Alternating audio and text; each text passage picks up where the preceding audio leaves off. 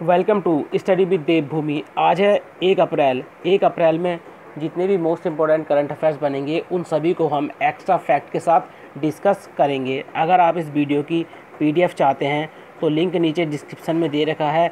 आप वहाँ क्लिक करके इसकी पीडीएफ को डाउनलोड कर सकते हैं।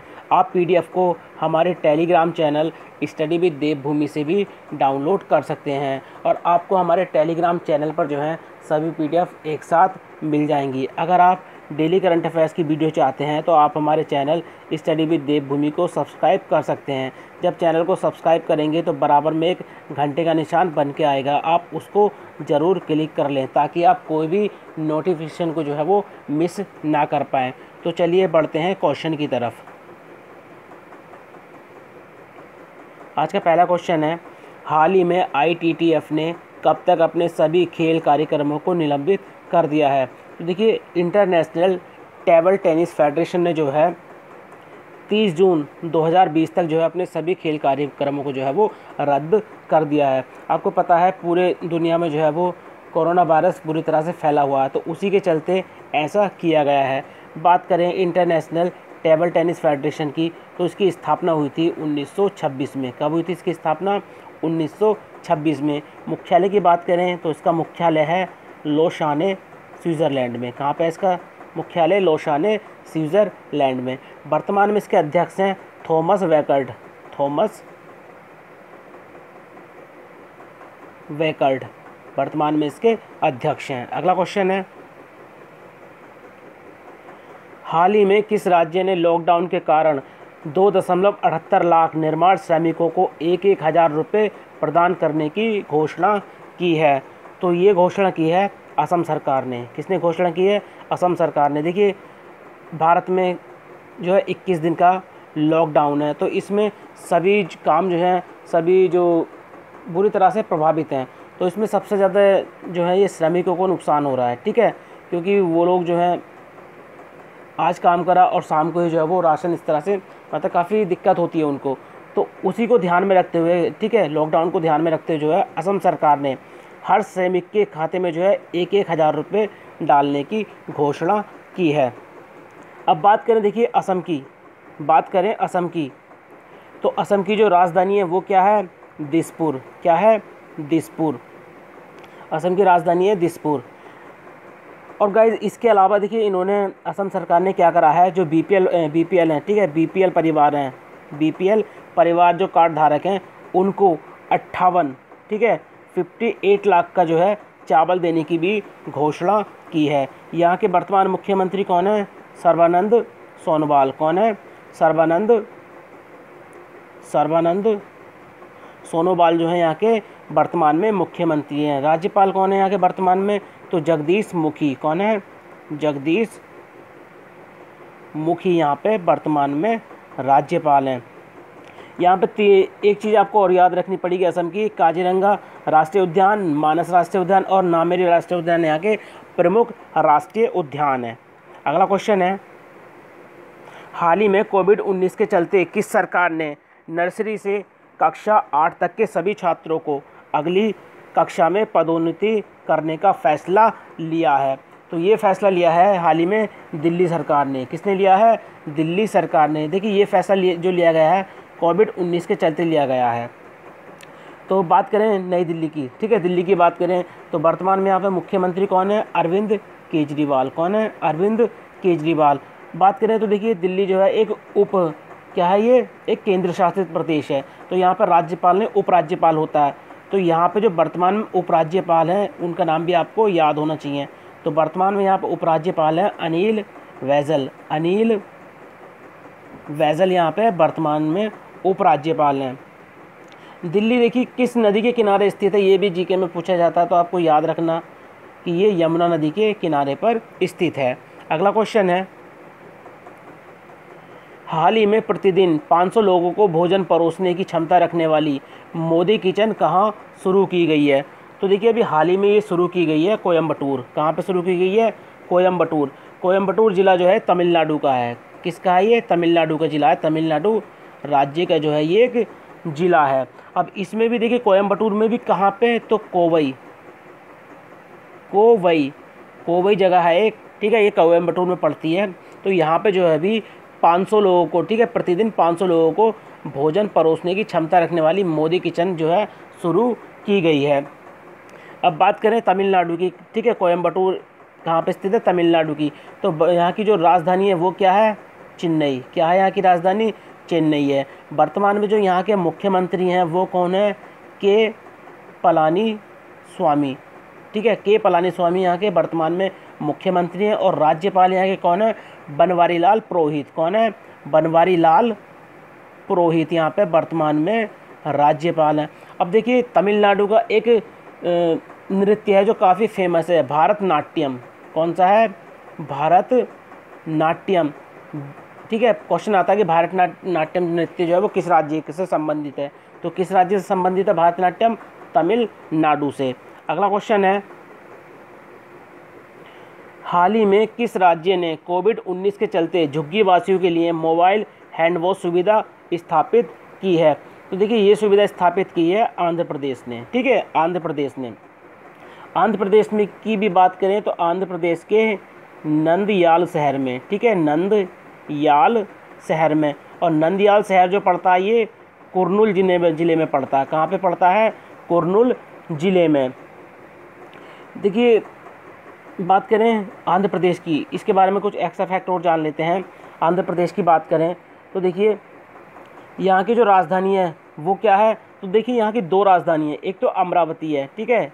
एक तो अमरावती है, अमरावती। और एक है हैदराबाद, ठीक है? एक है हैदराबाद तो देखिए, अमरावती जो है, यहाँ की वास्तविक राजधानी है और जो हैदराबाद है, वो कानूनी राजधानी है। यहाँ के वर्तमान में जो मुख्यमंत्री हैं, वो कौन है? तो जगमोहन जगमोहन रेड्डी। ठीक है, जगमोहन रेड्डी यहाँ पे वर्तमान में मुख्यमंत्री हैं। और यहाँ के राज्यपाल की बात करें, वर्तमान में राज्यपाल कौन है यहाँ के? तो उनका नाम भी आपको याद होना चाहिए विश्व भूषण हरि चंदन। ठीक है? अब देखिए यहाँ पे जो नागार्जुन सागर बाँध है और श्री सैलम बाँध है, ठीक है? वो दोनों काफ़ी फ़ेमस है और दोनों कृष्णा नदी पर हैं, ठीक है? दोनों कृष्णा नदी पर हैं। नागार्जुन सागर बाँध और श्री सैलम बाँध दोनों कृष्णा नदी पर स्थित हैं। अब देखिए, आंध्र प्रदेश जो है, वो भाषा के आधार पर गठित होने वाला जो है भारत का पहला राज्य है। कब हुआ था इसका गठन? एक अक्टूबर उन्नीस सौ तिरपन में। अगला क्वेश्चन है। हाल ही में किस राज्य ने मोबाइल ऐप प्रियागम ठीक है प्रियाग्याम लॉन्च की है? तो देखिए, ये प्रियाग्याम जो लॉन्च की है मोबाइल ऐप ये लॉन्च की है झारखंड ने। किसने लॉन्च की है? झारखंड ने। तो देखिए, झारखंड सरकार ने कोविड 19 का मुकाबला करने के लिए राष्ट्रीय लॉकडाउन के दौरान आवश्यक सेवाओं के वितरण से जुड़े सभी लोगों को ई पास जारी करने के लिए जो है एक मोबाइल ऐप प्राग्याम लॉन्च की है। इस ऐप के माध्यम से अपलोड किए गए दस्तावेजों के सत्यापन के बाद जिला परि, जो जिला परिवहन अधिकारी है, उसको ऑनलाइन मोड के माध्यम से जो है वाहनों का ई पास जारी करने का जो है अधिकार मिल जाएगा। अब बात करें झारखंड की तो देखिए झारखंड की जो राजधानी है, वो क्या है? रांची। क्या है? रांची। और यहाँ का सबसे बड़ा शहर जो है, वो क्या है? जमशेदपुर। क्या है? जमशेदपुर यहाँ का सबसे बड़ा शहर है। गठन की बात करें झारखंड की तो इसका गठन हुआ था पंद्रह नवंबर। पंद्रह नवंबर 2000 को भारत के सत्ताईसवें राज्य के रूप में। वर्तमान में जो यहाँ के मुख्यमंत्री हैं, वो कौन है? तो हेमंत सोरेन। कौन है? हेमंत सोरेन। यहाँ के वर्तमान में जो है मुख्यमंत्री हैं। राज्यपाल कौन है यहाँ की वर्तमान में? तो राज्यपाल हैं यहाँ की द्रौपदी द्रौपदी मुर्मू। द्रौपदी मुर्मू जो है यहाँ की वर्तमान में राज्यपाल है। अब देखिए, झारखंड से एक मोस्ट इंपॉर्टेंट क्वेश्चन हो रहा था कि मुंडा विद्रोह कहाँ पे हुआ था? तो मुंड मुंडा विद्रोह जो हुआ था, वो भी झारखंड में हुआ था। किसके नेतृत्व में हुआ था? तो बिरसा मुंडा के नेतृत्व में हुआ था। अब यहाँ पर दो चीज़ें काफ़ी फ़ेमस है। एक तो हुंडरू जलप्रपात भी आपने याद रखना है कि हुंडरू जलप्रपात कहाँ पर स्थित है? तो ये भी झारखंड में है। और बेतला, ठीक है? बेतला राष्ट्रीय उद्यान ये भी झारखंड में स्थित है। अगला क्वेश्चन है। हाल ही में केन सिमुरा का कोविड 19 से निधन हो गया। वह किस क्षेत्र से संबंधित थे? तो देखिए, ये जो थे, एक हास्य अभिनेता थे। कौन थे ये? एक हास्य अभिनेता थे और ये कहाँ के रहने वाले थे? ये जापान के रहने वाले थे। तो अभी हाल ही में इनका कोरोना वायरस की वजह से जो है, वो निधन हो गया है। अब बात करें जापान की तो जापान की जो राजधानी है, वो क्या है? टोक्यो। क्या है? टोक्यो। यहाँ की मुद्रा की बात करें तो जापानी येन है। यहाँ के वर्तमान में जो प्रधानमंत्री हैं वो कौन है? सिंजो आवे। कौन है? सिंजो आवे यहाँ के जो है वर्तमान में प्रधानमंत्री हैं। अगला क्वेश्चन है, हाल ही में किस बैंक ने अपने नए लोगों का अनावरण किया है? ठीक है, नए लोगो, एल ओ जी लोगो, ठीक है, लोगों का अनावरण किया है। तो ये अनावरण किया है पंजाब नेशनल बैंक ने। देखिए, एक अप्रैल, ठीक है, एक अप्रैल 2020 से 2020 से यूनाइटेड बैंक ऑफ़ इंडिया और ऑरिटल बैंक ऑफ़ कॉमर्स का विलय जो है वो पंजाब नेशनल बैंक में कर दिया है। तो इसी वजह से इसने अपना लोगो जो है वो चेंज कर दिया है। तो बात करें पंजाब नेशनल बैंक की तो इसकी स्थापना हुई थी 12 अप्रैल अट्ठारह में। कब हुई थी?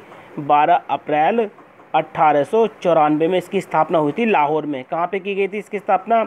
लाहौर में। किस किसने की थी इसकी स्थापना? तो ये भी आपको याद होना चाहिए। दयाल सिंह मजीथिया ठीक है? दयाल सिंह मजीथिया और लाला लाजपत राय ने, लाला लाजपत राय ने, इन्होंने मिलकर जो है वो पंजाब नेशनल बैंक की स्थापना की थी कहाँ पे? लाहौर में। और इसका मुख्यालय कहाँ पंजाब नेशनल बैंक का? तो आपको याद होना चाहिए, नई दिल्ली में। कहाँ पे है? नई दिल्ली। ठीक है? चलिए, अगला क्वेश्चन देख लेते हैं। अगला क्वेश्चन है, हाल ही में किसने एक corona virus tracking app, corona Kavach, शुरू की है? तो ये शुरू की है केंद्रीय स्वास्थ्य और परिवार कल्याण मंत्रालय और केंद्रीय इलेक्ट्रॉनिक्स और सूचना प्रौद्योगिकी मंत्रालय। यानी इन दोनों ने मिलकर जो है, corona virus tracking app, corona Kavach शुरू की है। देखिए, इस ऐप से यह पता चलेगा, चल पाएगा कि कौन जो है कोविड उन्नीस के जो जोखिम वाले एरिया जैसे किसी को किसी एरिया में जो है कोरोना वायरस के सबसे ज़्यादा मरीज़ हैं तो उनको ट्रैक कर पाएगी ये ऐप ठीक है? ये कोरोना जो है एक ऐप जो है ये सब इसको ट्रैक कर पाएगी। अगला क्वेश्चन है हाल ही में किस मंत्रालय ने फ्रेश स्टार्टअप स्कीम दो, स्कीम 2020 शुरू की है?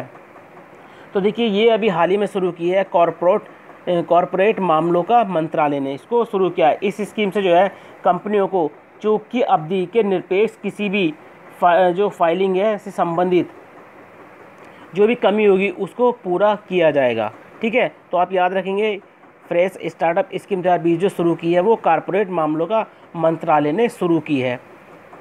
अगला क्वेश्चन है। हाल ही में किसे आर के डिप्टी गवर्नर के रूप में नियुक्त किया है। तो देखिए, ये नियुक्त किया है बीपी कोनुंगो को। किसको नियुक्त किया है? बीपी कोनुंगो को।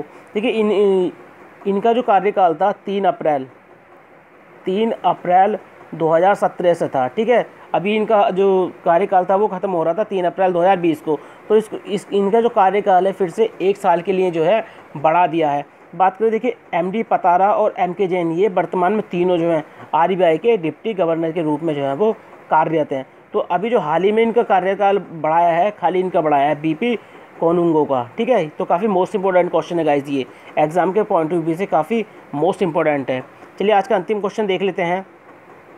आज का अंतिम क्वेश्चन है, हाल ही में किस राज्य सरकार ने मोबाइल ऐप कोरोना मुक्त हिमाचल की शुरुआत की है? तो ये शुरुआत की है हिमाचल प्रदेश ने, ठीक है? देखिए, ये ऐप जो है कोविड 19 के लिए संगरोधी लोगों, ठीक है? संगरोधी लोग कौन होते हैं? ठीक है, आपने सुना होगा संगरोधी संगरोधी अस्पताल या संगरोधी लोग।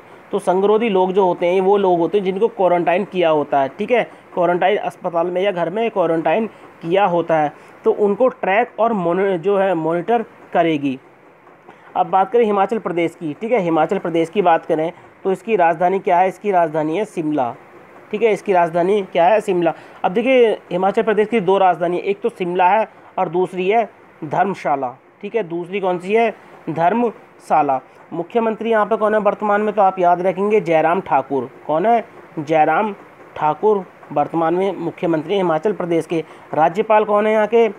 तो वंडारू बंडारू दत्तात्रेय। ठीक है, दत्तात्रेय, यहाँ के वर्तमान राज्यपाल हैं। तो गाइज़ ये थे एक अप्रैल 2020 के 20 के 12 मोस्ट इंपॉर्टेंट करंट अफेयर्स जो आपके आने वाले एग्ज़ाम में आपकी काफ़ी मदद कर सकते हैं। चलिए, कल हमने आपसे क्वेश्चन पूछा था कि हाल ही में यस बैंक के कार्यकारी अध्यक्ष कौन बने हैं? तो देखिए, ये बने हैं सुनील मेहता। कौन बने हैं? सुनील मेहता। चलिए आज का क्वेश्चन देख लेते हैं, जिसका आंसर आपने हमें कमेंट बॉक्स के माध्यम से बताना है। हाल ही में किस राज्य ने कोविड 19 पर निगरानी रखने के लिए टीम 11 की स्थापना की है? बिहार, पंजाब, उत्तर प्रदेश या गुजरात ने? गाइस देखिए, आप जो है ना, इस क्वेश्चन का आंसर कमेंट के माध्यम से ज़रूर बताया करें, क्योंकि अगर आप इस क्वेश्चन का जो है आंसर अगर एक बार कमेंट बॉक्स में लिख देंगे ना उस, इसको आप ना कभी भी नहीं भूल पाएँगे, कभी भी। अगर एग्ज़ाम में इस तरह से क्वेश्चन आ गया तो आपके दिमाग में एकदम टच हो जाएगा कि हाँ इसका आंसर ये है। अगर गाइज़ अगर आप डेली करंट अफेयर्स की वीडियो चाहते हैं तो आप हमारे चैनल स्टडी विद देवभूमि के जो है, वो सब्सक्राइब कर सकते हैं। जब चैनल को सब्सक्राइब करेंगे तो बराबर में घंटे का निशान भी आएगा, आप उसको ज़रूर क्लिक कर लें।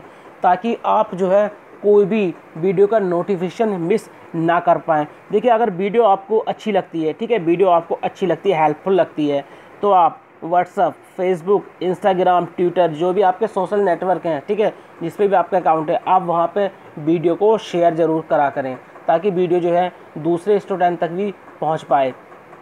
ठीक है गाइज़ अब देखिए, वीडियो को अगर अच्छी लगे तो आप हमें कमेंट के माध्यम से ज़रूर बताएँ।